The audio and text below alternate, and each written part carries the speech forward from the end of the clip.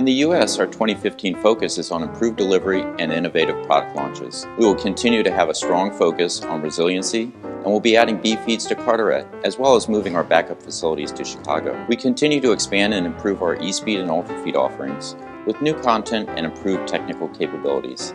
Data Products will roll out an updated version of the Enhanced Display solution to ensure that vendors and clients have the ideal mix of control for their screens and entitlements. Additionally, we plan to introduce a variety of products to help you track latency, improve quote data, and provide social media information to understand Reg FD sources. We'll also be launching FPGA for ITTO on the option side and implementing a logo ticker.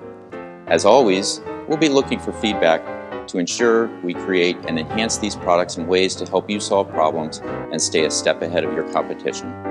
Feel free to reach out to your account representative or GIS management at any time with suggestions or questions.